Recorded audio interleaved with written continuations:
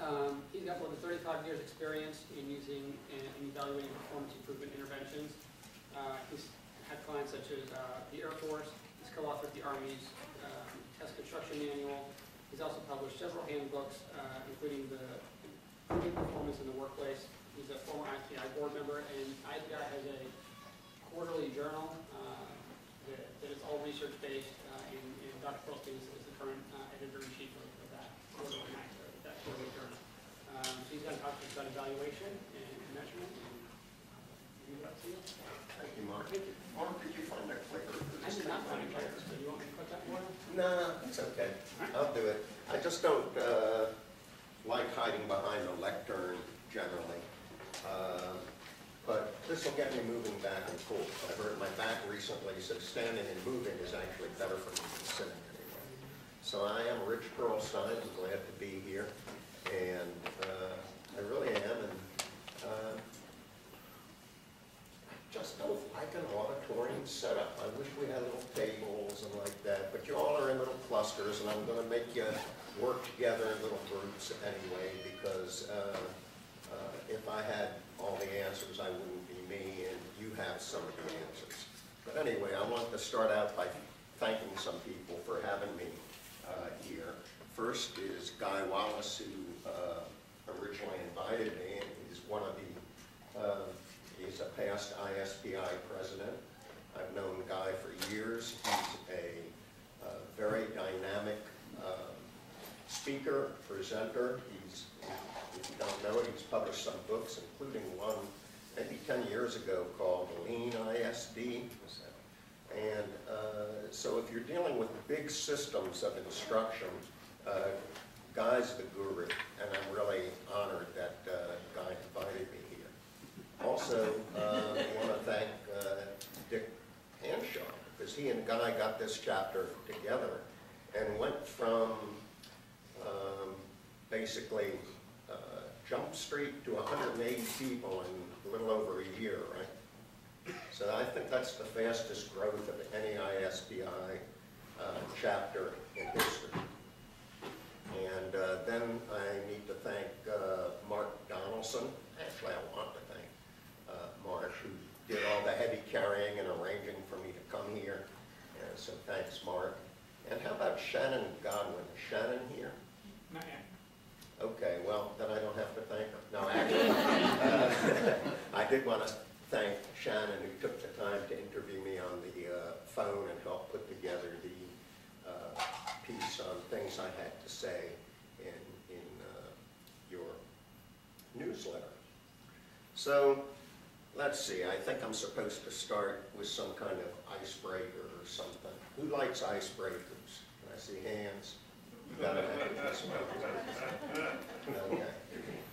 Three people, that's good. That that goes, that goes well with the uh, story I have to tell, which is about an esteemed colleague who gave a presentation in Japan, where very few people spoke English in this particular town where he did it. It wasn't Guy, but it was a professor, and he gave this presentation, and it was a smashing success. The audience roared at his beginning story, they paid rapt attention, and they uh, applauded.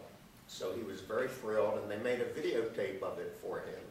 Uh, That's what they had back in the day. And he brought it back, and he played it for his graduate students at a picnic he held one weekend. And the, uh, one of his graduate students was Japanese, and as he was shown it, she began frowning. And he said, what happened? He said, well, your translator did, may, maybe didn't say what you thought. When you started, you told this joke and everybody laughed, right? Yeah.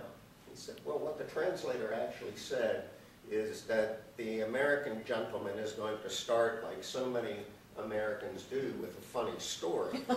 It does not translate well into Japanese. So if you will just listen and then laugh and applaud when he finishes, I'm sure we'll get down to business. So there you go, that's the icebreaker, and that's pretty much what I think of them.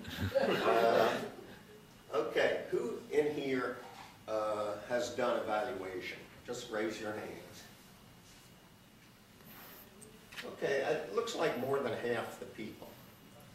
Uh, It's hard to be in this profession, human performance improvement, without having some experience in evaluation. So suppose I came here, just feel your feet on the floor for a second, breathe, center yourself in your uh, chair. And suppose I'm here and I look at you and say, I'm here to evaluate your program. Take a breath. How does that feel? Threatening. Okay. Um, If I come here and I uh, say, boy, they're here to evaluate me, then I feel threatened.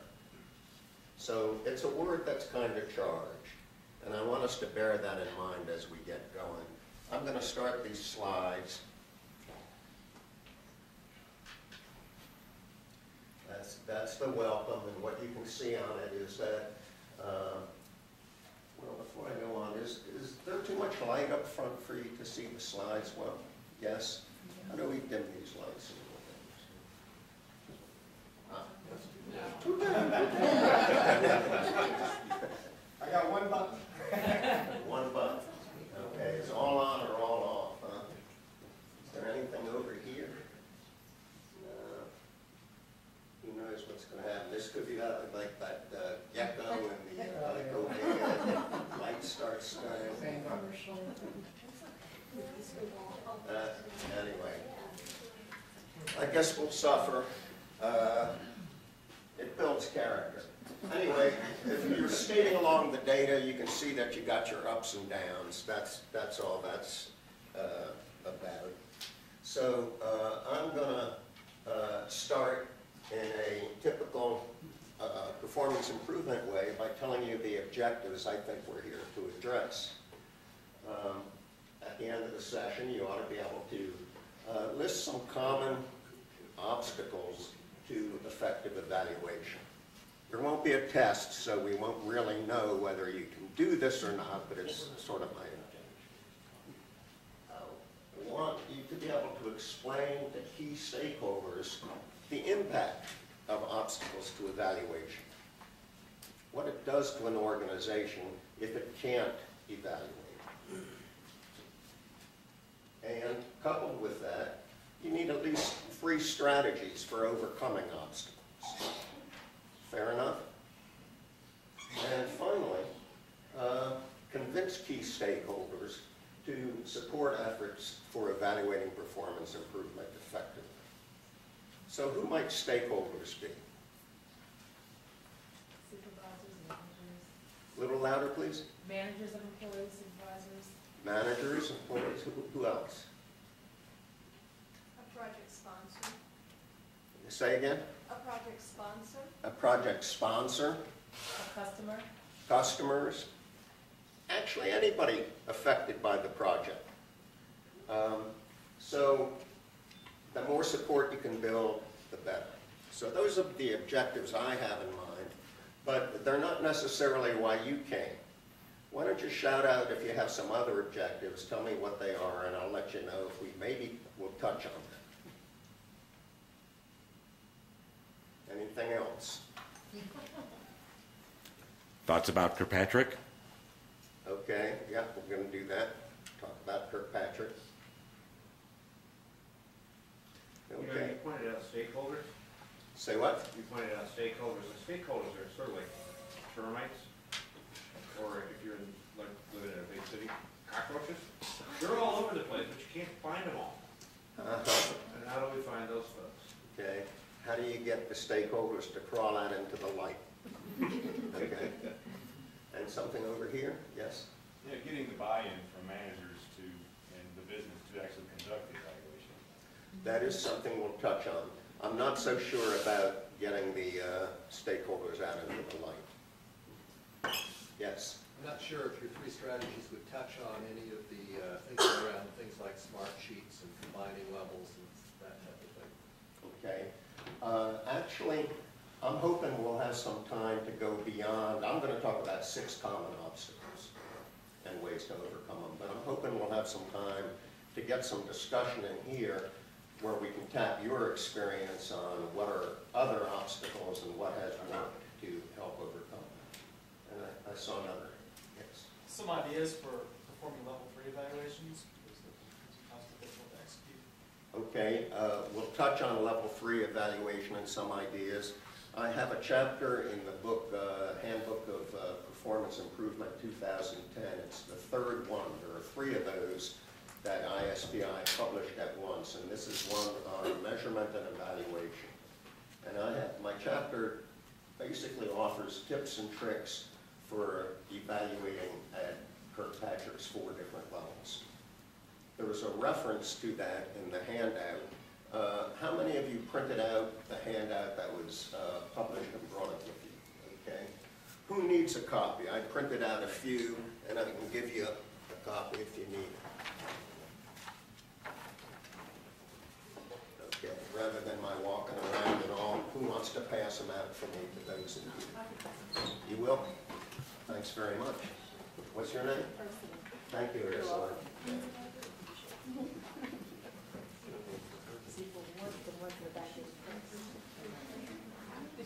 Are you the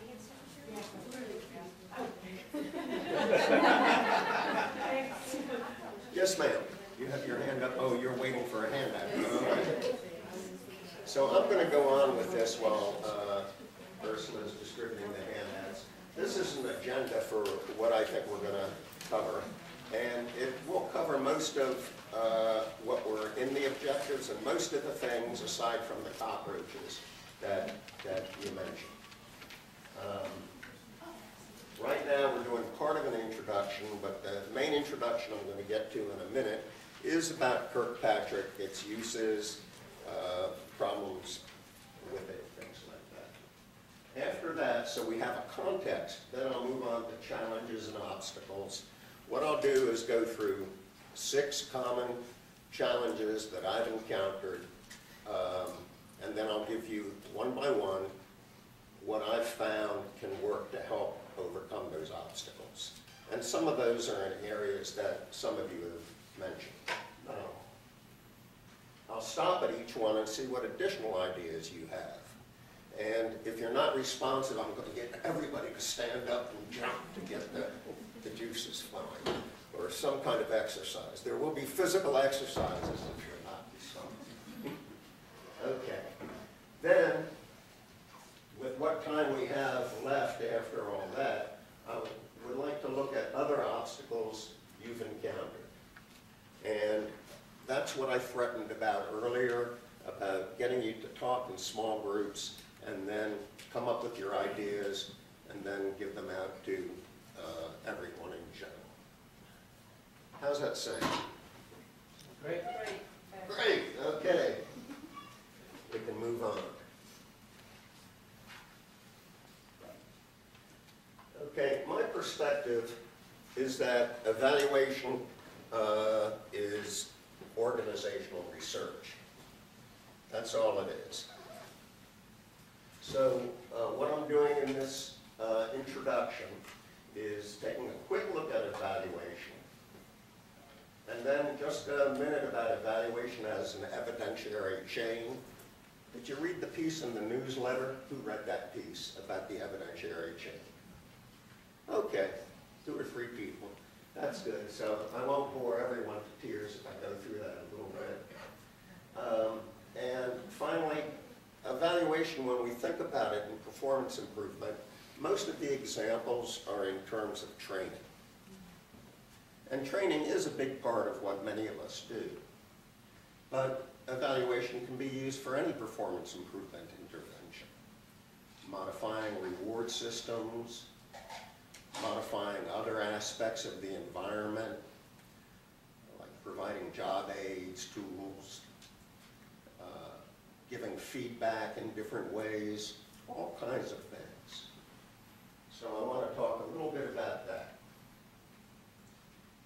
So let's move on right through this list. This is my take on how evaluation is usually done. Anybody have seen it like this? You get us to sit around like, what should we be finding out? What should we ask? Uh, And you list questions. and I'm seeing some grins, so I'm thinking that you're not unfamiliar with that. And then, when you get all those answers, well, what's it mean? We'll figure it out. The problem is that's backwards from how we really should be doing it.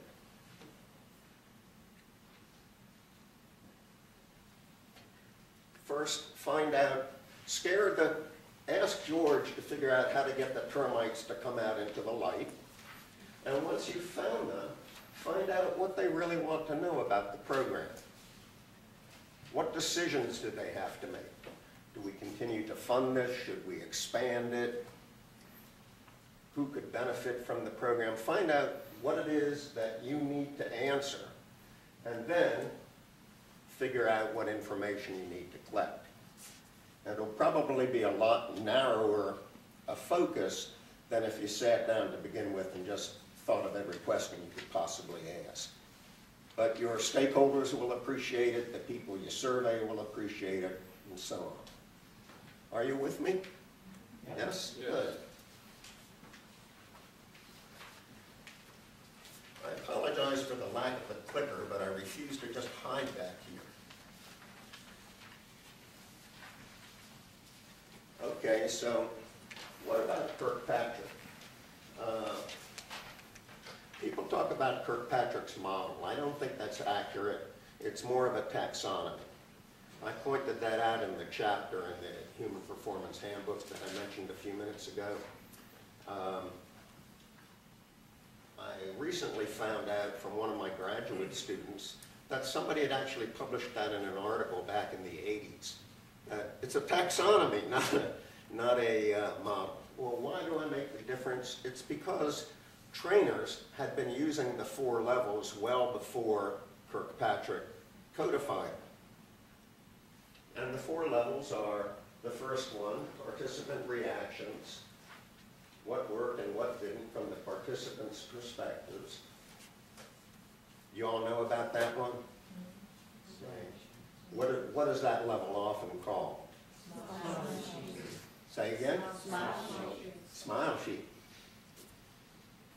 I'm, I'm getting deaf in my old age. That's exactly it. Uh, level two is participant changes at the end of the intervention. Kirkpatrick calls that learning, but it could be other, other forms of behavior change. So I just talk about it as the end of, uh, what's different at the end of the intervention, just in case you're not doing training. Level three, okay, so people have learned something or they now do something differently for whatever reason. You've seen that at the end of the intervention. How do you know they'll continue to do it on the job? Well, you have to look and see. Did the participants reliably perform in new ways on the job? Some people uh, call that level impact. Level four to me is the most important one, impact on organizational outcomes. What's improved as a result of the intervention, and was it worth it? After all, if somebody were to give you an endless supply of money, and you could experiment for as long as you wanted, you might be able to uh, improve things. But if the value of the improvement was far less than the money you threw at it, what have you really done? I mean, I can think of examples where you might want to do something where the return on investment isn't so good,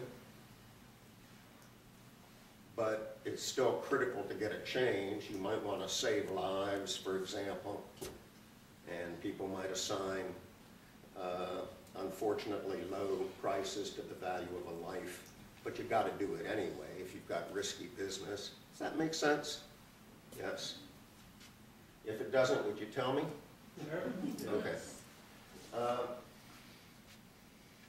Phillips calls ROI level five, but as I say, because if you've caused change and it's not worth it, then how have you really helped with the outcomes? I consider it part of level four. Some other people do too. Uh, Jack, uh, what's his uh, partner's name? Yeah, yeah. Uh, They have a great business and they do good work, but uh, part of their selling it is as a fifth level, and uh, I just think these four cover it pretty well.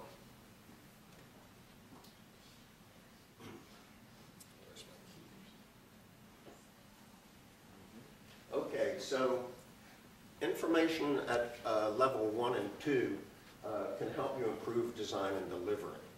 I just mocked a minute ago, I mocked level one by asking you what it's called, usually. Smile sheets, that's sort of a derogatory term. Uh, And rightfully so. But participant reactions can surface problems. Uh, It can surface problems like, uh, imagine that you've had an ACE instructor who does the same course, uh, a particular course once a month, and ratings are like this pretty steadily, and then one month it goes like this. Ratings of the instructor really plummets. If you were the manager, wouldn't you want to know what happened differently? Was there a special disruption in class? Was the instructor sick? What happened? So it's some information that you, if you weren't on site, you can still get information from it. Uh, Another example of information from level one is uh, people can tell you their experience of the training facility. It was so hot, I couldn't stay awake. It was so noisy, I couldn't hear half the things. So there's useful things you can get from it. And then level two, measurement shows whether your intervention worked initially. If you measure knowledge or performance before the intervention, and then after, and there is an improvement, you may be able to say that your intervention caused that improvement. You might want a control group, and we'll talk about that a little bit later, but just having the measures uh, shows whether you got some initial success from your intervention. Now, at level three and four, the information can help you get organizational support. You may be able to get some of the uh, termites to crawl out from the woodwork. Um, For one thing, at level three, is it being used on the job? You have to thank management for that uh, to some extent, because if it's being used, it's also because management is encouraging it, promoting it, rewarding it. And then the outcome data, what's actually improved in the organization as a result of the new behavior that's spread to the job, uh, that can also scare the current exec. It can make stakeholders who want to take some of the credit show up. Oh, what we did um, has uh, actually improved things. We've affected the bottom line. We've increased customer satisfaction. We've improved the quality of our services, whatever measures you're looking at. Sir? Don't you think uh, information from level three could also help improve the design? Yes, uh, information from every level can help do that, but I'm, I'm just saying what I think the focuses are. Primarily, at Different okay. levels, yeah. Thanks for asking that. I feel so low-tech having to come back here and. There's the evidentiary chain. It works backwards. I had a conversation with uh, Thiagi once about Kirkpatrick. You all saw Thiagi here before, right? And I said, well, what do you think? What do you do? And he said, level four. That's it. And you know, basically, I agree with that. Uh, You want to know if the outcomes have improved. But um, in order to do that, let's just look at it this way. Suppose I do something, and then later on, I, uh, I go and I measure uh, outcomes, and they've changed. Can I say it's because of what I did? Yeah, maybe I can, maybe if I've had the control groups, I can and all, but I'll make a more solid case if I go back and say, not only did organizational, uh, did, uh, let's take an example. Not only did customer satisfaction increase, but uh, we found that uh, our employees were treating customers better on the job. Back here on level three. But can you say that the fact that they're treating them better on the job has something to do with something you did? You have to go back one more. Did they change their behavior? Are, for example, the employees uh, now uh, being rewarded when they treat customers well, whereas before they were uh, maybe punished because they took too much time? Got to keep those calls going, don't help the customer as much, oh, your minute's up, hang up. You see where I'm going with that? How you have to point backwards and, and make the case all the way back to the beginning. Now, that first one is optional. Uh, In a lot of organizations, it's, uh, well, employees don't have a choice about whether they uh, participate in an intervention or not. Training might be mandatory, they have a new reward system laid on them, things like that. But in other organizations, they may have a choice. If they want to join this program, go to that training, what have you. In that case, you have to go back there and see if, in fact, people uh, did want to come, if it had, if it generated good buzz. Any questions about the evidentiary chain? No? It's an observation, though. Excuse me, an observation? You're, I know the focus of this is evaluation, but what you're really talking about is a continuous cycle between evaluation and design. Because you're talking about level one, level two, level three, level four, talking about, if they do, will they change behavior, talking about, will change behavior occur on the job? Well, frankly, that, if- you know, that's a question to ask. Then the, the uh, design parallel to that is, well, how do we know that? How do we ensure that it does? And maybe we're gonna be building in learning and non-learning interventions. Right. Um, It makes sense. In fact, I'm going to say a little bit later that uh, evaluation goes right back to front-end analysis, or front-end analysis goes to evaluation. Uh, This, this water container's been opened. Is there a fresh water around anywhere will be. Thank you. I'm getting dry. Okay. Now, uh, I mentioned that uh, we can use evaluation on things other than training. The timing of what we evaluate at those levels are going to vary. Like, if I've done training, then I can compare pre-training performance with end-of-course performance, right? But what if I put in a new reward system? It's going to take a while to take effect. I can't measure change right after I put it into place, can I? I mean, I, I won't see any change. It takes a while for it to work. In some organizations, it might take longer than in others. There's going to be some judgment involved. Similarly, uh, if I put a new feedback system in, hopefully feedback so that employees more naturally get feedback from their customers, from the work they do. Oh, thank you so much, sir. A water and backup. I appreciate it. Hey, this is pure vodka. But good. Thanks, Dick. You're welcome. So, you have to consider uh, where you, what kind of intervention you have as to where you measurement, where you do your measurement. And you also have to consider both the initial intervention and the follow-up intervention. So primary, down this side, you can see that participants done training, but as we talked about a minute ago, uh, is it maintained? Do the supervisors encourage the new performance? I, I remember uh, early on, I used to go to management training and they would teach you about uh, theory X and theory Y. Do you, you have encountered that anymore?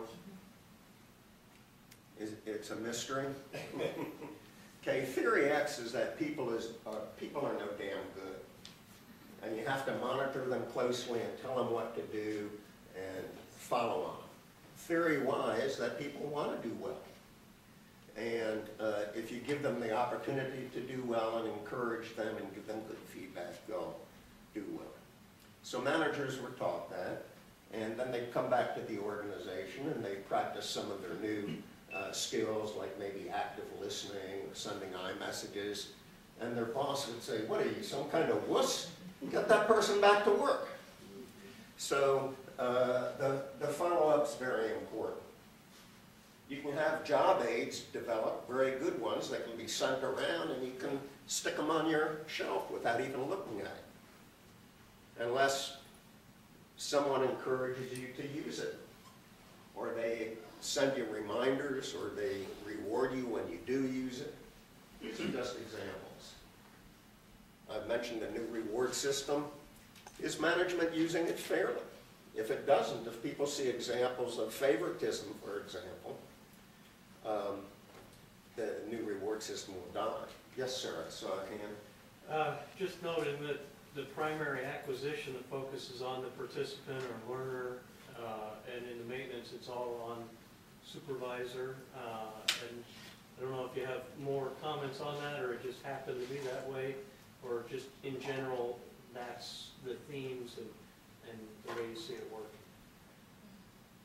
Well, I could do more examples. I wish I could get these little things off the screen, but I don't have. Uh, Karen Brethower wrote this article on the, uh, the hidden side, what's it called? Uh, You can see it in the uh, reference list. Sir? Uh, occurs to me, Dana, that, that, uh, maintenance is all about the environment.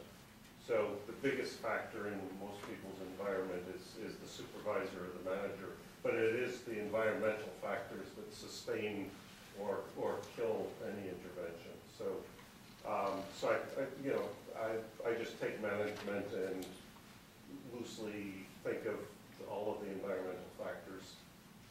That's good. But I, I would specifically look at supervisors and higher level managers and what they're doing to support things. Karen Brethower's point in the original article was that acquiring a skill or a particular set of behaviors is only part of the battle. The remaining part is making sure they stay in place. So uh, environmental factors will be a big part of that. Question. So if you're looking at level three, I mean, the maintenance part of it, Uh-huh. would the, who would be the, who would the evaluation be done on if you're looking at it from the standpoint that supervisors or management has to encourage this transfer of learning, basically? Are, are you saying that I have determined that they haven't encouraged? Or if they, if the supervisors play a primary role in making sure that this behavior continues outside of the training environment and on the job,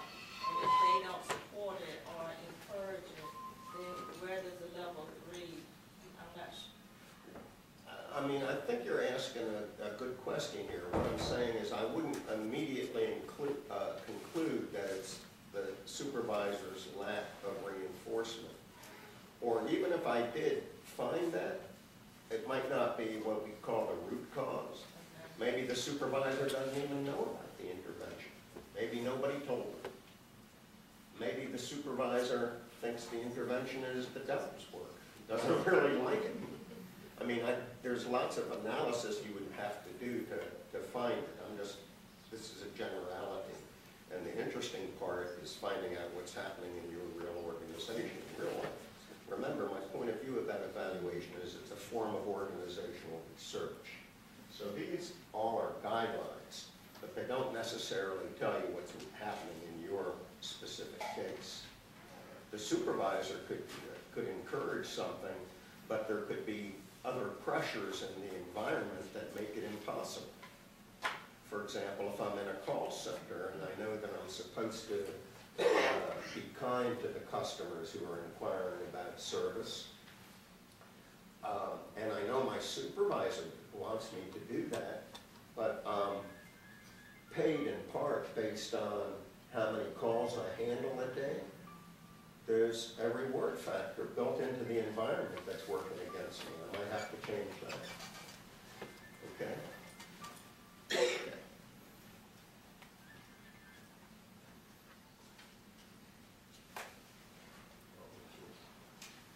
Other questions or comments? So far. Now, we're gonna move on to challenges. Yes? The, the first comments about the, uh, how you set it up in the first place and making sure you know what questions you want answered Yeah. on the front end. The, the thing that I see happening so much, and it always drives me crazy, is there's one or two questions that they want answered that you don't find out about until it's too late. Uh-huh. It's like, if you'd have told me on the front end, I could have captured that data. But now that you want the answer, we've gone too far down, the down the tracks, and we Yep. can't answer that question for you. That's a good point, and that does happen.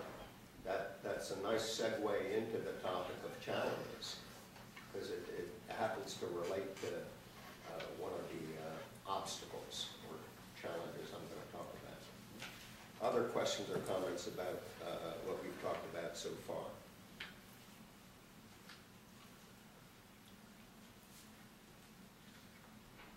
You know the old trick I know a lot of you have learned it in training one on one. Um, If you ask a question and nobody uh, responds, you just count to yourself to 10, 1001, 1002, 1000. You just quietly to yourself. And there'll always be somebody that's more extroverted than you in the crowd and can't stand the silence. they'll say something. But I'm not going to do that to you getting toward the end of the week. So you can see that's me, right? A few examples from it. Uh, I, I'd break every bone in my body if I tried that. So I won't. Here's the first obstacle. Management doesn't really want, and, and you might think I'm picking on management here. Uh, But the reason for that is that I am.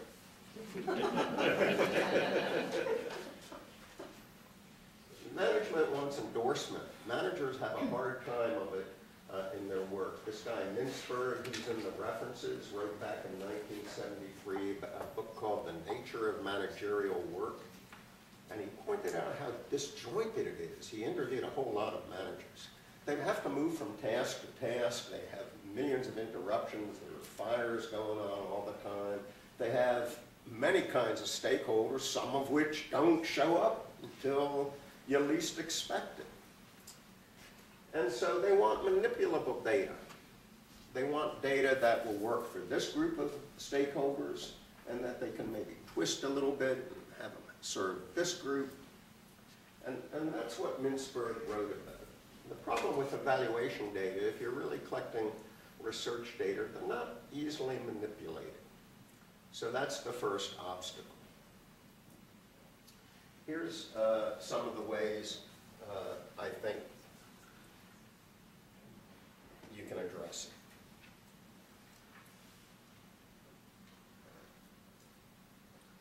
One way is to contract with management in advance. You can do this whether you're an internal consultant or an external consultant. We're going to do this evaluation, and you want to be able to answer what questions? And they list uh, questions. You say, okay, well, can we think about it for a week? Get back to me if there's some more answers you need before we get going on this. What you. Of course, if they're an 800-pound gorilla, they can bring up questions long after you've lost the ability to actually collect the data. But I do believe in contracting in advance.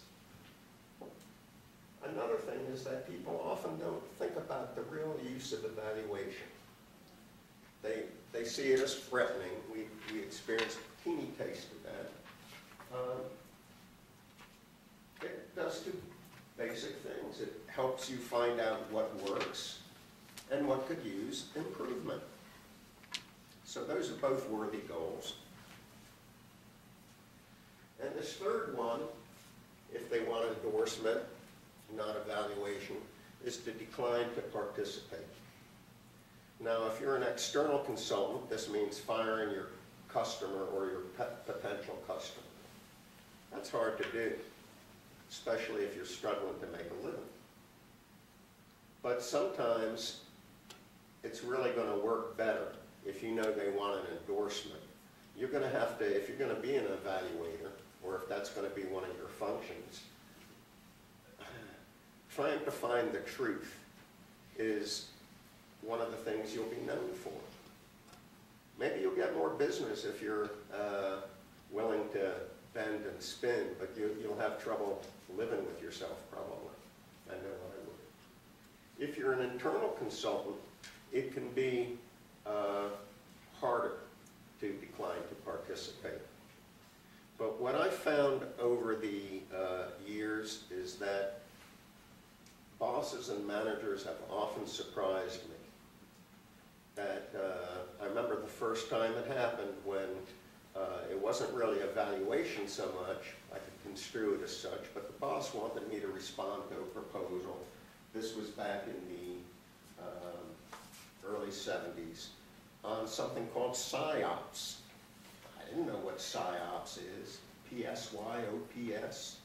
You all know what PSYOPs is? Yep, psychological operations, psych warfare we used to call it. I, I didn't know it, but I researched it back then, and I went and I told the boss, to, to the extent I'd be any good at doing this, what the proposal wanted, I don't want to do it. And what he told me was, if you don't want to do it, we don't want to do it. And so he, just with that simple statement, made me think, you know, three times better about his company than, than I had thought before. So declining to participate uh, is a genuine option, and sometimes it can, it, it can really surprise you and help. So what ideas do you have about when management wants endorsement, not evaluation? Yes? I think one of the things is recognizing, in the previous slide, talk about why do they do that? As to, we all have a cognitive bias to look for things which confirm our world perspective, you know, we don't like the cognitive dissonance of finding out we were wrong. Uh, and so to humanize the management as we all do it. And then, so to, to look at that, that framework, and then I, I'm in that internal consultant world, and so how do you delicately address that? Uh, one of the things is, most of them are, are, are about results and outcomes, and if you can point out to them, you're too invested in the process or the intervention, and you're not focused on the outcome, and if we can shift and, and get you to pull back and, and worry less about what your baby is now and what it's gonna look like when it grows up, uh, then you make some progress with it. That's an excellent point. I wish I'd said it. Can I copy it? Yeah, I have no, uh, I have no copyright on anything. Speaking of copyright, I, I think I've plastered copyright, uh, I think, probably, um, uh, about, uh, twenty-eight places, uh, in the document that I've given you or that you took off the web. You actually have my permission as ISPI members to, uh, use these materials for non-commercial purposes without asking my permission. I'm granting you permission to do that. If you want to use them for commercial purposes, uh, I would prefer to hear from you first. But, no, that was, uh, I think, a- a- an excellent point, is getting them to, telling, gently that they're too involved in the uh, process rather than the outcome. Have you ever been successful giving them both, getting the data that helps them with their endorsement needs and also getting evaluation data, or is it too difficult to mix?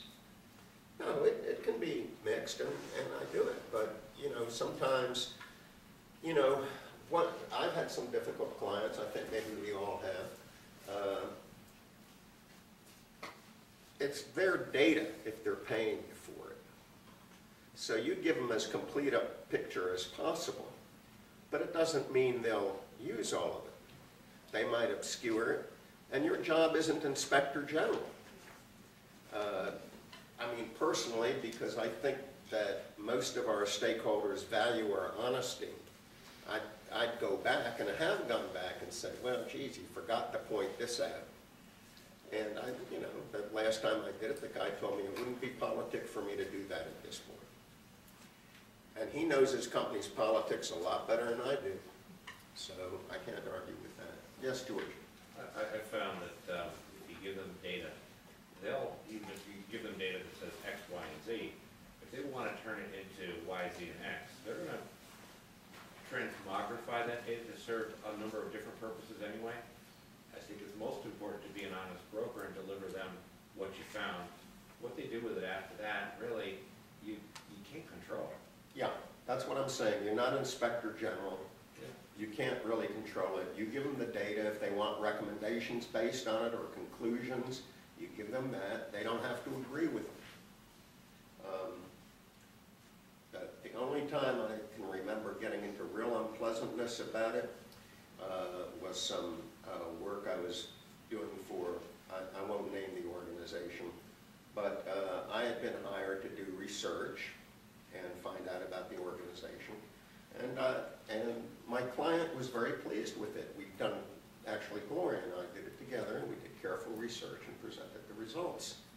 But then there was an uh-oh. The client came back and said, uh, her boss wanted us to change things. And what, what, uh, what he wanted us to change uh, were the data. And we wouldn't do that. So we didn't get board. You know, we presented the data, and I mean, it just, I didn't feel, I felt bad about their asking. That was the case about the, uh, the cockroach in the wall. I didn't know there was a hidden decision maker that would, would come along and change the nature of the contract. Okay, moving right along, or is it too late for me to say that? Management doesn't plan evaluation up front. What about this one? That kind of goes to your comment over here. You get the questions later, after the fact. Some people think, well, we're supposed to evaluate, we better evaluate now. Okay, This is not so different from the first obstacle. I'm, I'm seeing some nodding. This is something that's familiar. Yes.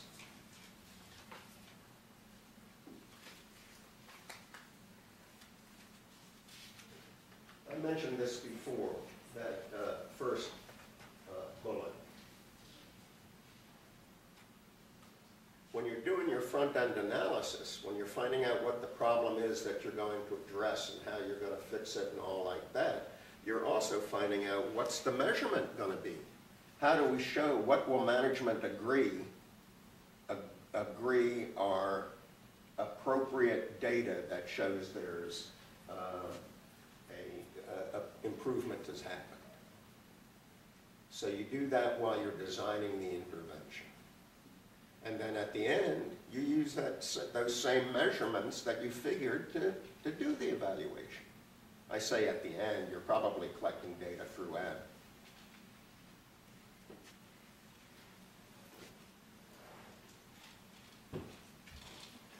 That other one, make business case for evaluation. I've already heard some uh, uh, people commenting on that. It should be a business case in many organizations, whether it's commercial or nonprofit or government.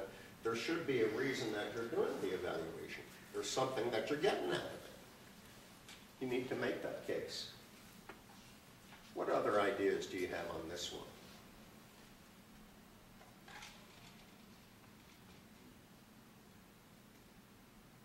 Okay. Would everybody stand up for a minute?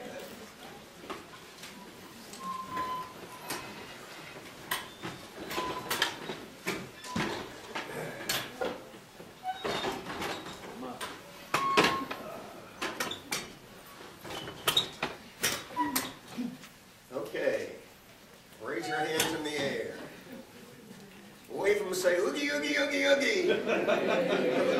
Louder, oogie, oogie, oogie, oogie. Okay, thank you. You can sit. We're getting some energy moving. Any ideas come from the Oogies? No? Moving on. Well, I think all you can do is you can check with them to see if they're going to want to do it, and if they say no initially and say yes later, that's all you can do. A lot of times they don't want to do it unless they, they're scrambling at the end. They think they need to prove something. They want that endorsement because maybe it's not gone as well as they had hoped.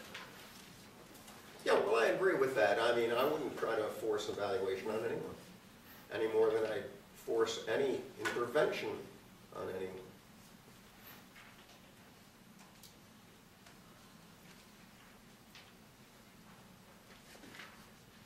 Fear evaluation, yes, sir. I have worked in some organizations where I think almost the opposite is true. There's no expectation of evaluation.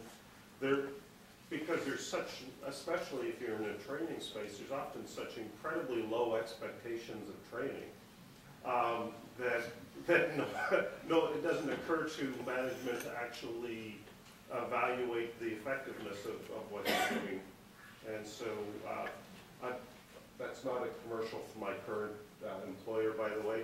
Uh, But I, but I have worked in other organizations where um, the opposite is true, is more often true, that I have to sell evaluation um, as, as something that they really do want, um, even though there is no awareness at the beginning that, that, that, uh, that that we would even do such a thing. Yeah, I, I have experienced that, and I do, I do sell it.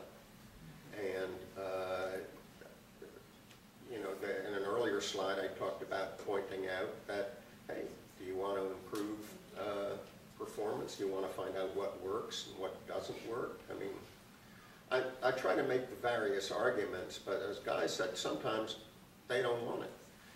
And I think you're right, that's, uh, training, training is often at the bottom of the food chain. Of course, I've, I've since learned, uh, since I started saying that, that a lot of functions think they're at the bottom of the food chain in organizations, but, but, uh, uh, really, there have been, uh, you ever heard the expression turkey farm? That's a lot of training units used to be called turkey farms. It's where we put the people who couldn't perform. The old saying, them's that do, do, them's that, that can't do, teach. There, there are a lot of prejudices that you have to overcome, and evaluation can help overcome it. You can find the data. So I saw a hand here, around here first, and then some back. Yep. Just uh, kind of along this part of combining with front-end analysis is the idea that you can probably pitch that evaluation is part of the intervention. You know, kind of Hawthorne, just the fact that they're being washed, you're- you're doing the evaluation and that in itself is a treatment or an intervention, and that you design it as part of the intervention. So it's not extra, it's part of the process. That's, that's great. Now, I'm about to hire you though, and I like that idea a lot, but how much cheaper can you do it if you use that part of it? I like everything you've said, and that makes sense, but we're strapped. So it, it's kind of hard. Yes, ma'am? Along with what you're saying about how much cheaper, uh, in, in some previous uh, businesses that we've worked in, we justified evaluation as a money-saving aspect to the business. Yep. Uh, And we did a lot of things that way because we were saving lives, as you said. Mhm, So if you can justify it as, as saving money, mhm, sometimes that works. mhm. Oh, I think evaluation, if you do it, will save, will Oh, save yeah. you money. It will. You might be doing a lot of things unnecessarily that uh, are costing.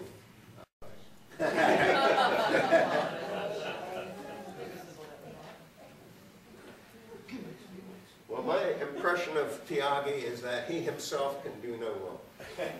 But people who try to do what he says can do wrong. He also says those who can't do instructional design manage. I heard that, Emily? I was just gonna say, um, you know, sometimes we're the stakeholders who fear the evaluation too. You know, if you're, if you're in a, a learning department and you're rolling out courses and you're evaluating them and they say, nope, nothing got better, then it's your head on the chopping block too. So, you know, I know that I've, I've had discussions with people where they've said, oh, we have to evaluate, and when we sit down and talk about it, and I ask them point blank, do you think if we run this it's gonna make any difference? No. And then, you know, it, it, it, well, seriously, they know their audience, they know that they're preaching a message no one wants to hear. So And they do it anyway. if they're mandated to. But it might be a good way to intervene and say, well, what would make the change? What is going to make the change? And then you build those non-training interventions.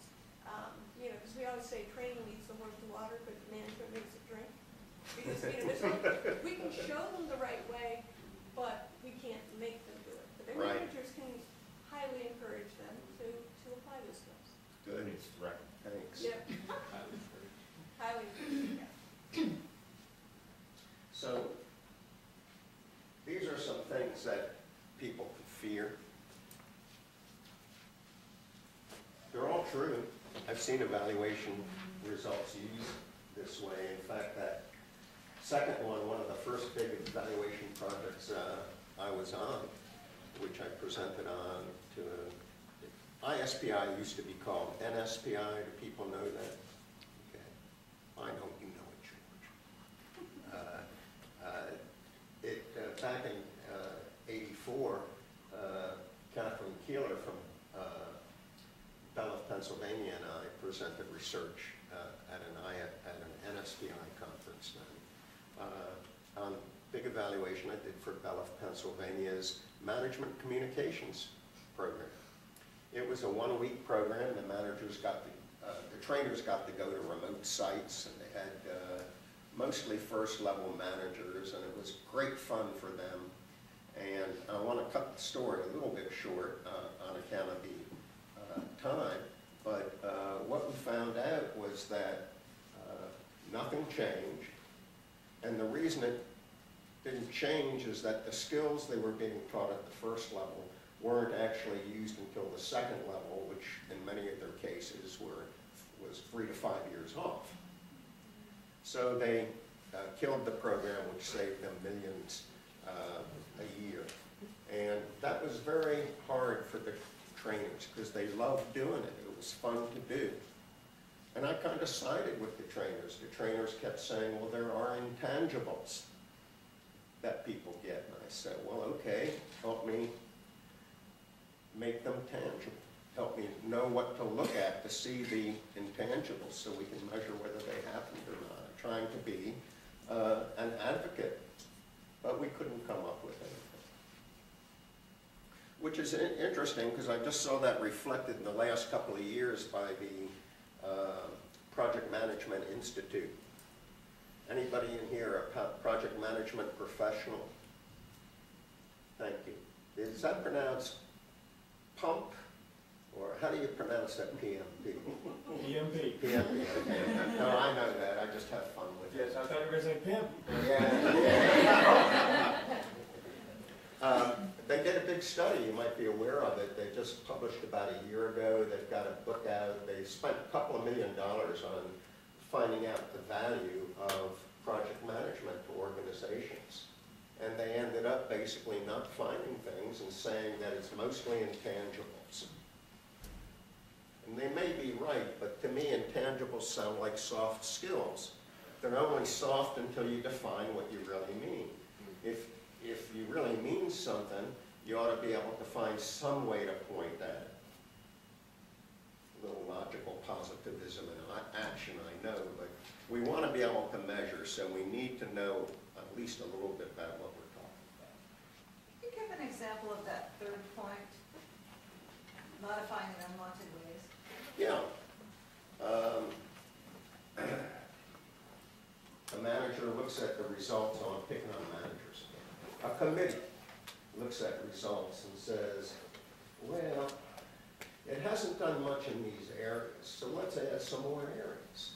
We're gonna, you know, we, we can, we can do that. And then they, the designers already know that it's kind of weak because people aren't really practicing the skills, they're getting content. But a committee comes along, looks at the results and say, we better add more content in more areas. So that, that's an example I've seen happen. Okay, so what to do about it?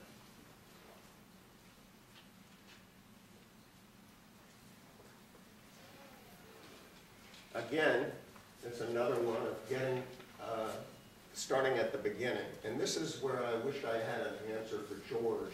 How do you find all the primary stakeholders? But tell the people what you're going to do at the beginning and the positive goals, how you're hoping to improve things, how you want to find, uh, you know, you're, you're not the inspector general, you're not trying to punish or close things. You want positive goals. Do all that, and then say, set if-then contingencies. And the example I just talked about is, if we can't find any evidence that this training, which costs millions of years, makes any difference to anyone, what are you going to do? Well, we, we'd shut the program down. And Catherine Keeler's part of the presentation to NSPI back in the day was to point out that she never could have done it without the data.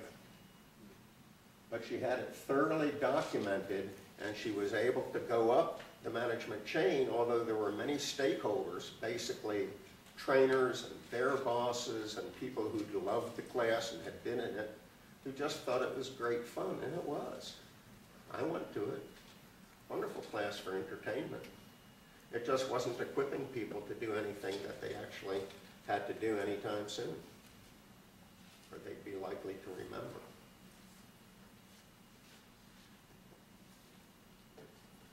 If you've got an agreement, make sure it's honored.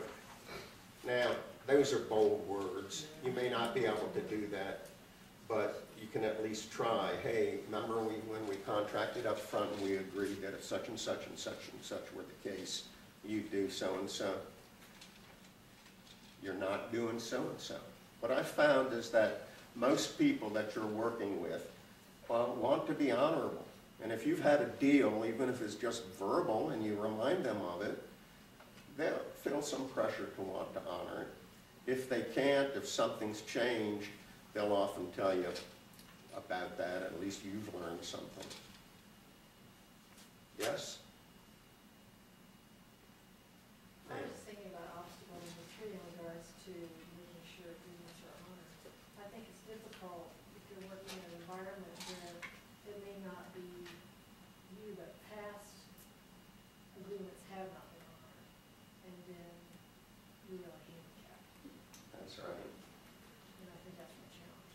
Mhm. Because then stakeholders or participants really don't want to risk being involved for fear that it's going to be the same thing that's happened in the past. Can everyone hear her? Uh, You may come into a situation where agreements haven't been honored in the past.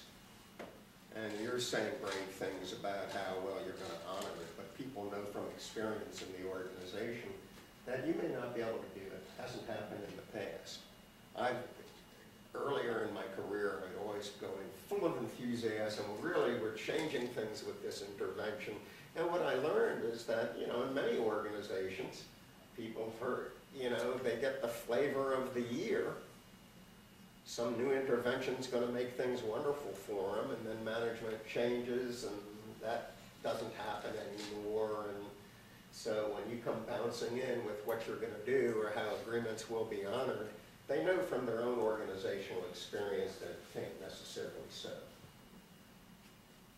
Okay. Any other ideas? You got one right here? I Yes. just, I just think, you know, you want to make a point, you're not evaluating the stakeholders, you're evaluating the training program. I know we did some evaluation of, uh, the leadership program, and, and we were looking at, uh, leadership behaviors that were displayed, and there was some fear, you know, that, uh, the data that we collected on our certain leaders, you know, how that would be used and how it would be shared, and there was some fear of a negative message, but we were really, you know, evaluating how effective the programs were and what we needed to do, you know, in the following year to address, you know, any shortcoming that was being seen, you know, from the evaluation. Yep, good. We're trying to help you succeed with our evaluation. That's what the data are for. Yes, Yeah, I, I was thinking you, you have uh, a, a bullet there, emphasize positive goals, but sometimes the opposite in this condition is, is where you, it's, it's useful to go and saying, sort of redefining what failure is. And the fear here is that it's my program, it's my baby. Somebody talks about, that's how people talk about interventions, it's their baby. Nobody wants to tell them, people that their baby's ugly, right? So it's a matter of redefining what failure is.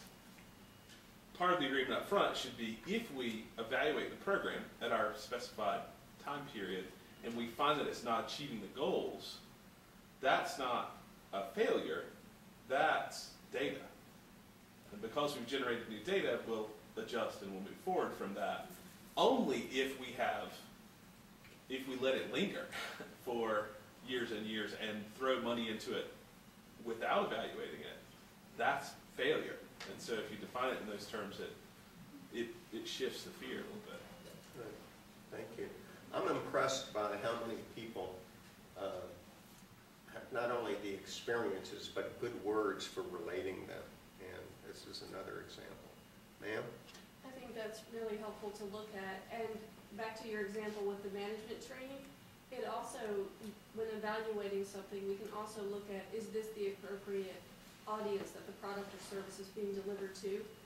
My question about that particular example would have been, if this is a fantastic program and there are intangibles that aren't being received by these frontline managers, what would happen if this same product were delivered to mid-level managers that have been on the job five years? So there are always proposals to the client that can give them different options to, and ways to use that data. That would have possibly worked in the Bell of Pennsylvania case that I was talking about. Uh, What, what happened there, though, is unfortunately the people who were now in those positions had all gone through the training years ago, and there was no way you were going to make them go through it anyway. And they'd never been reinforced for doing those things because they hadn't had a chance to anyway, and they'd forgotten.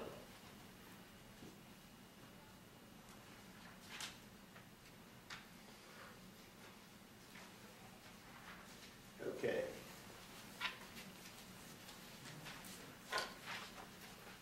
Now, we talked about Kirkpatrick Level One and, and some of the useful things you can get from it, but some of the not so useful things about Kirkpatrick Level One is that uh, there's a fair amount of data reported by uh, Richard Clark, Dick Clark at the uh, University of Southern California about uh, people's, uh, how much they like training actually having a negative correlation with how much they learn. I've done some, my own studies that way. So if you're doing level one as a smile sheet and you get real high smiles, it ain't necessarily a good thing. People can enjoy it and say good things about it, and it doesn't mean that they've learned. Now, I put up Pearlstein level zero, and I'm allowed to do that because I actually introduced it in that chapter in the handbook I've plugged a couple of times here. Uh, Pearlstein level zero is hallway evaluation. Hey, George, did you go to that training we were doing last week? I was in the men's room. Yeah. Uh, You say it wasn't so good, huh? Darn. And that's it, hallway out evaluation. The boss will ask somebody that he trusts, or she'll ask somebody that he's tru, that she trusts, and then that's the end of it. So, uh, the other thing is even misusing level two. Much of the measures at the, uh, I'm using training again as an example, but uh, many of the measures are testing knowledge. And then it doesn't, they're not necessarily testing what the people will really do on the job. It's more knowing about than actually being able to do. So that's a, that, that's a misuse of level two when you're doing it that way. By the way, how many people, if you're doing level two testing, get to do a pre-test? One. One, some, some people some of the time. But lots of the time, they just want a post-test. And uh, I say they, the organization will only tolerate a post-test. There isn't enough time for the pre-test, or they have various reasons you can't, you can't do a pre-test, various other reasons. The difficulty uh, there is, of course, you can't look at the delta, the change from before performance to after performance. All you can do is to say, if I've tested at the end and most people uh, can now do it, supposing I have a performance test, I can say, well, okay, at the end of training, most people can do it. If you press me and say, well, could they do it at the beginning of their training? I'd have to say, I don't know, maybe some of them could. I just can't tell you. So how do I approach those obstacles? And we'll talk about how do you approach it. You may notice that I'm slyly uh, building in our uh, discussion groups uh, because, you know, we don't have individual tables and uh, easel pads to do the uh, group work on.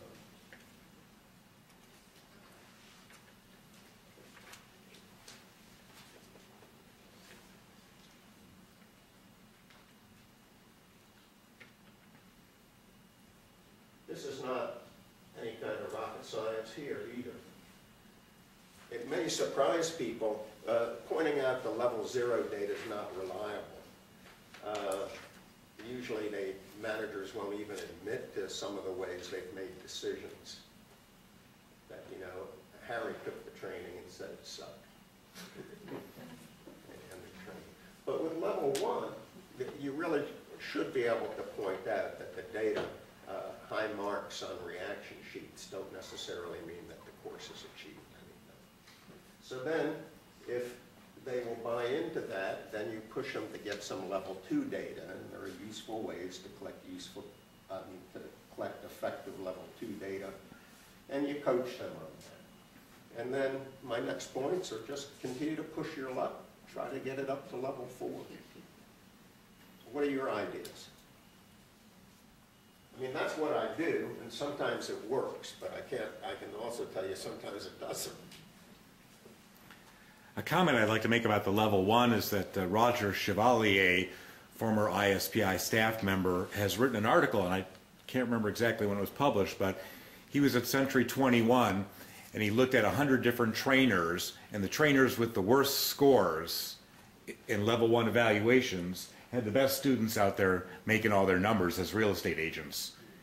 And the, and the teachers, the instructors that scored the highest had the worst performers out in the field. And so that just is an example here of where you really can't trust level one data because it's whether they liked it or not. Now I can tell you whether the room is too hot or the materials aren't adequate or whatever, but it can be very misleading in terms of what's the end result if you don't do the rest of the evaluation. That's right. And it has bad effects on trainers too. I mean, I've seen trainers kind of uh, whining for good grades at the end of training.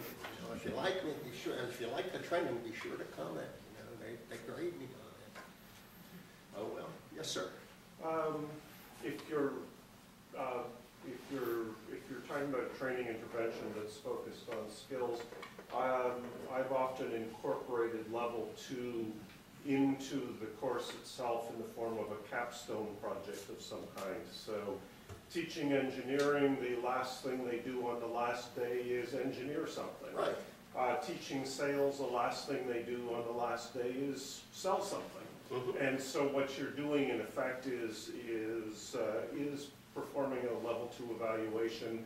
Um, and it's transparent to the participants because it's incorporated into the activities. Mhm. I, uh, I've used that approach, and uh, especially at the uh, Department of Labor, uh, where I was first taught how to do that. What you're doing is equipping people to do their job, but I mean, if the job is pretty complex, like a medical claims examiner, uh, occupational safety and health, you have to do it in little bits uh, all along, and you are collecting the data too, but the end part, as you say, is putting the whole piece together. You'd be processing se- several kinds of claims representative of those that come in. And uh, that's also your final test, but it's a learning experience too. Mhm. But That dovetails into one of the other purposes of the evaluation, which is provide uh, constructive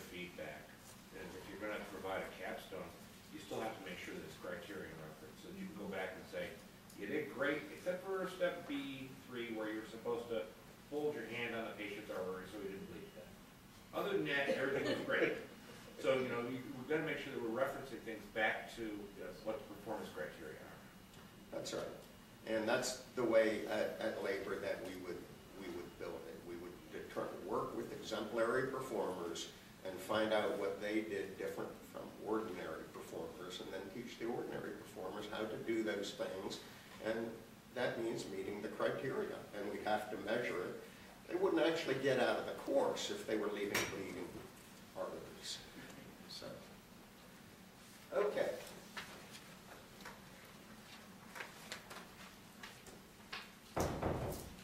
We've talked a little bit, uh, well, no, we haven't talked about this one so much.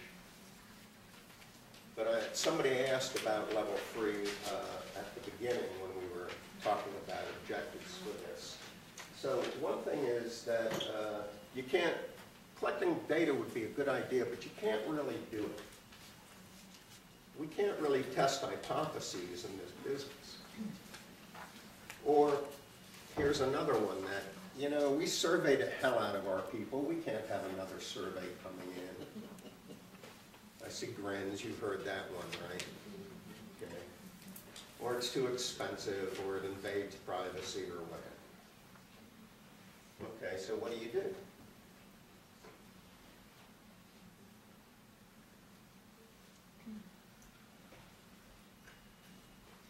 This first one, use existing measures of job performance is very, very important. And I think you all know that. You get, get exposed to that a lot. If you put in new measures and people have to do something different to collect things, they're, they'll resist it and they likely won't do it. They're used to their work lives, they're busy already, they don't want to take on new tasks, so resist it. So uh, I've been kind of bad-mouthing management in places, but generally, they know what their managers want. They know what outcomes are important. They have measures for it. Use the existing measures. It doesn't always work. Sometimes you, you might have to create another measure or show them what they could be measuring, and that's a different topic, but whenever possible, use the existing measures. now, this next dark bullet that I have up there even the very word scares people sometimes. Quasi-experimental design. Oh, sounds like Frankenstein. Or is that Frankenstein? Is it Pearlstein? Now you never will Okay. So uh, that was uh, Campbell and Stanley introduced that back in the 50s, and it's been revised. But quasi-experimental design is basically uh, okay, you don't have a lab situation, but you can still set up uh, some kind of design. So you can do pre and post measures on interventions, and you can compare it with a similar series. So for example, suppose you have five divisions in your company. You can roll out the intervention in this division that's fairly isolated from the others first and test it out and test performance there on something that they're doing against what's happening in other divisions. Stagger the time so you have equivalent uh, periods between when you start the intervention and when you start it in the other place, and then simple statistical measures can show you whether there's a difference. And when I say simple statistical measures, I mean really simple stuff like comes with Excel. Most of you already have Excel. So there's a data pack that comes with it. You have to download it, but it allows you to do things like simple analyses of variance. You don't have to do SPSS. I mean, it's good if you can do big experiments, that's fine, but even with the common tools that are around many offices, you can compare groups and see if they actually differ um, statistically. And if they do, then you can say, well, geez, these, this group got the intervention here, this group got the intervention here, it improved here with the first group, it improved here with the second group. You've got your data. Emily, were you going to say something? Yeah, I was just gonna say, you know, I, I think one of the big obstacles around three and four is it's not our data, so to speak. In other words, the level one comes from my LMS, the level two comes from my team. But the level three and four, you're more likely to be going out and collecting data about what's actually happening in the business. Um, or you might be getting something from an HR system. And just to be honest, there are times that the data gets past our own skills. Um, you know, I'm lucky that I have a guy that I can say, can you take this from the HR system about, you know, how many months they've been managers, and then match it up to this that we did, you know, in the, the LMS about what we trained them on, and then this about how their employees are, are, you know, rating them, and put it all together, and he can do the lookups and all that sort of stuff that I don't actually know how to do. So, you know, I, I think there are, there are times you get beyond what you can do with the tools and the knowledge you have within a learning organization. Yeah, We don't I'm always sure have that's the so. luxury of having, you know, a dedicated evaluation person. who does That's why you call Dr. Pearlstein. That's right. Thank you, George. If I were Thiagi, I'd want him back with a dollar for you, or maybe it's a five now. Yes.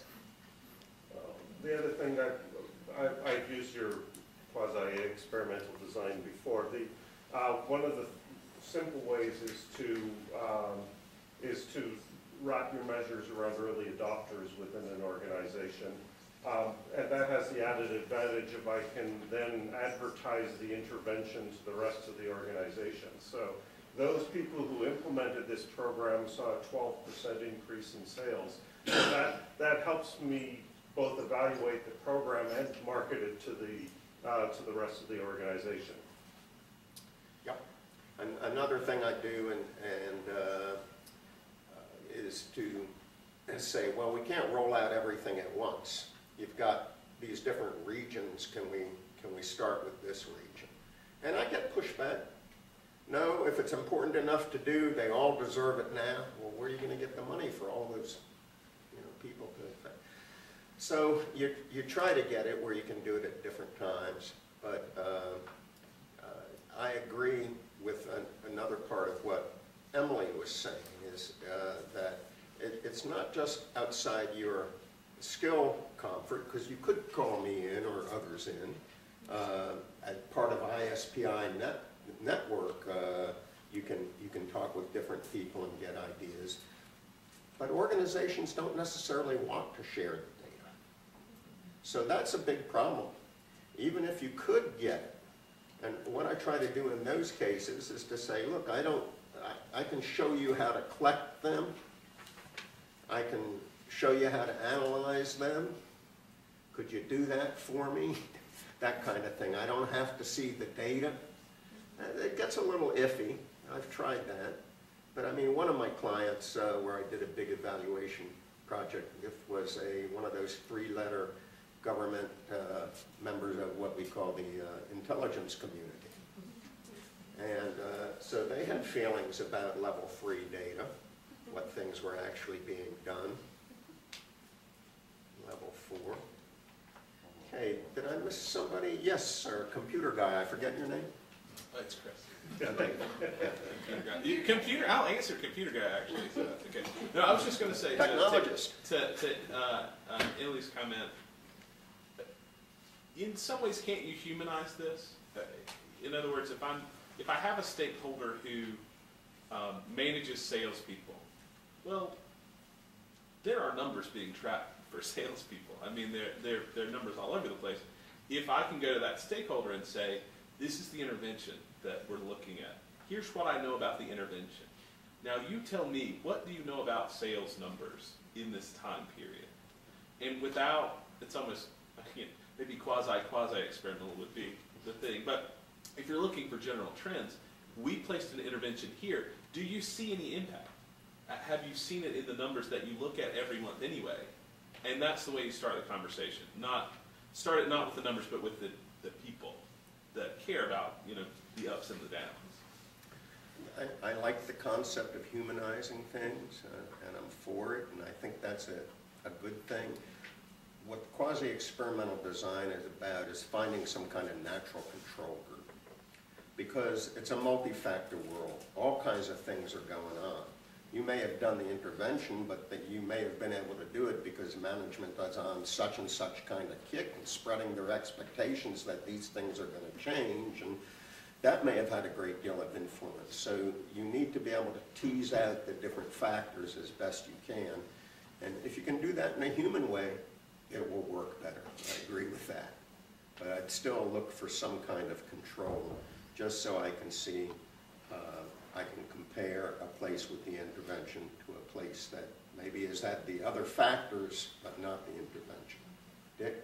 You know, Rich, I think one of the things that really puts people off about levels three and four is trying to identify the causal link.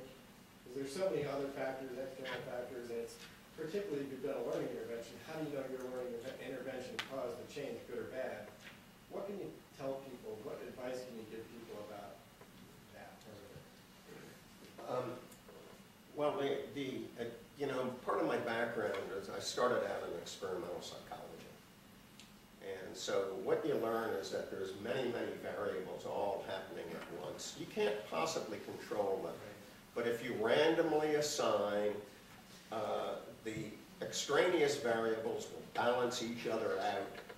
And the one that you've manipulated, the independent variable, is the one constant that you know has changed. This group got it, this group didn't. Well, but there were 2,000 other factors you identified. Yes, but I assigned them randomly to these groups, so they should have each had pretty much those same factors impacting them. And in quasi-experimental design, it's not always easy to do that. If you take, for example, the early adapters, as one, one suggested, you may have some of the smarter people, some of the more eager people, some of the people who care more.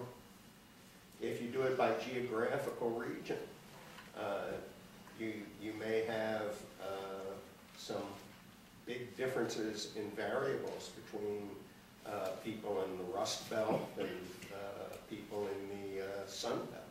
I don't know. So you, you have to look and see the extent to which you can hope the variables balance out. Thank you. The last obstacle that I have to address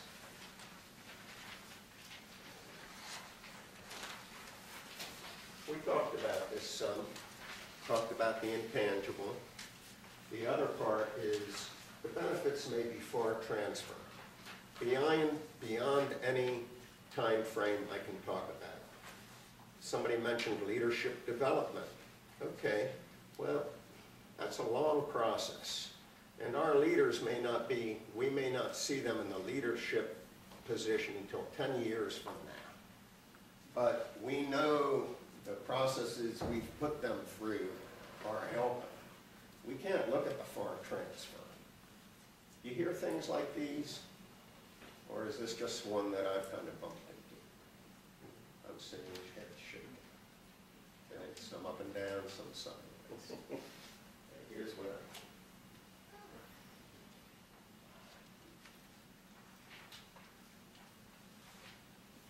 I I've talked about this. If it's an intangible, try to get them to at least list examples of the intangible. It makes employees happier. How do you know that? One test we generally use is, uh, can we see four teeth, or eight teeth, or 16 teeth? You know, the tooth test. How happy are they? Of course, I'm joking about that, the, uh, you, you try to find some ways where they can actually point to, be- to benefits, whatever their indicators are. And then you show them the way to measure it. Another one, another one is that uh, show them the actual I in ROI. What's it costing? It's far transfer. We won't be able to know for years whether this really paid off.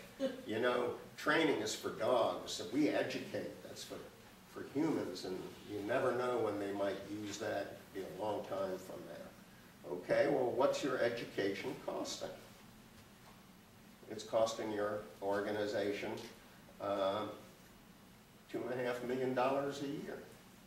What are you getting from that? So those are uh, some of the ways I do that. Uh, Fortunately, we've come to the time where you get to talk about other obstacles.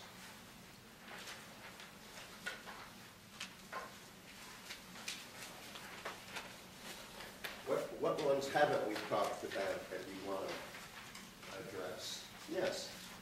Uh, Stakeholders might have had some bad nightmare past experiences with evaluation, and they would consider it unwise to go down that path again. Okay, so similar to uh, what you had said earlier about not being able to trust. Who has ideas about what you would do with that if people had nightmare experiences with uh, evaluation? Well, first I tried to understand exactly what was the essence of that nightmare and what about it was nightmarish and see if there's some way to navigate and avoid some of those pitfalls that they experienced before to ease their apprehension about that. Do performance analysis?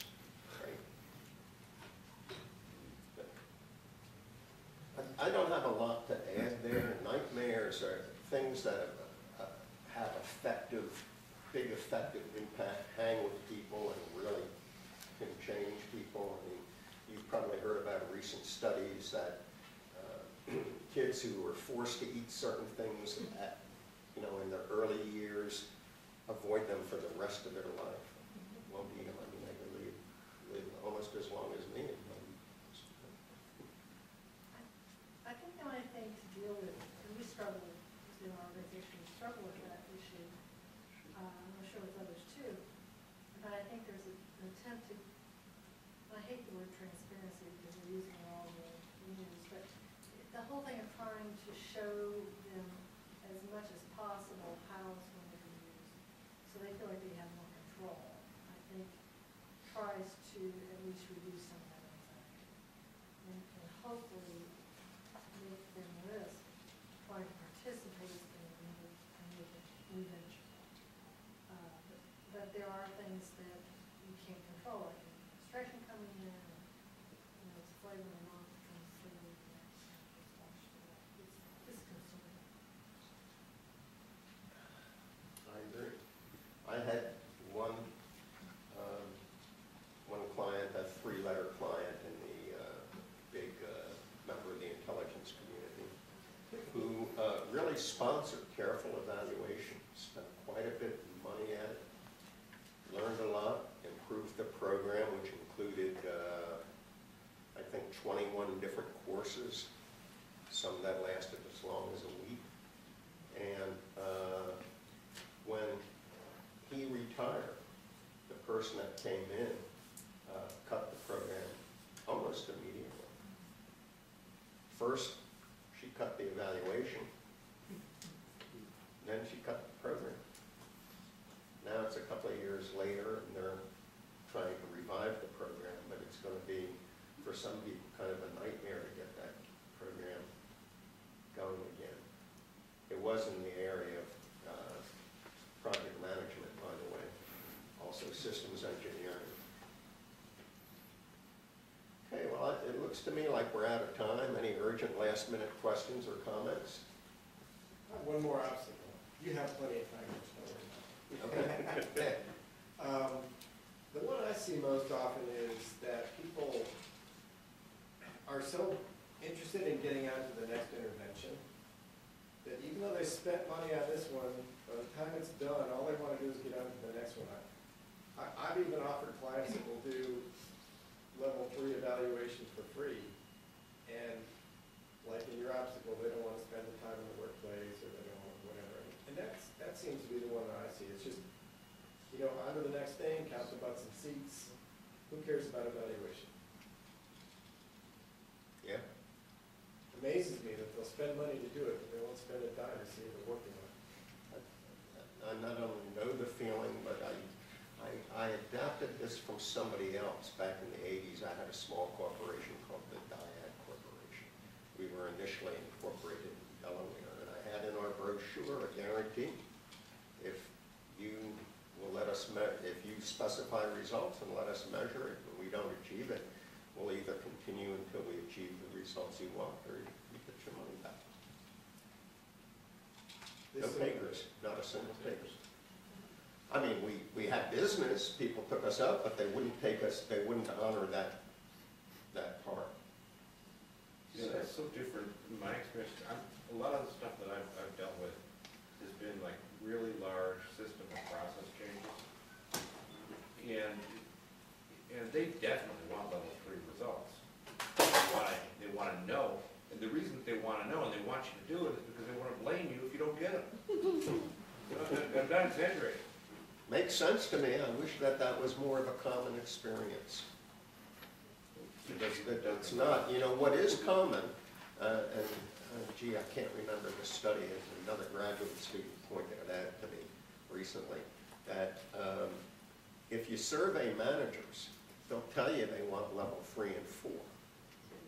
They just won't do it. You know, most of the surveys about what level measurement goes on is level one, and then it drops to level two, and then it plummets to level three and level four. But if you ask the managers what they want, do they want level one or level two, go, no, not so much, we want three and four. So, I don't know. But I do want to thank you all for coming. I was told we were like uh, six thirty to eight. If people want to hang out and talk a little bit, I'm up for that, but I know it's the middle, well, not the middle of the week, toward the end of the week. A lot of you have to get ready for the, uh, isn't there a big event at the Speedway this weekend? So, yeah. So thanks very much for coming, I really appreciate it.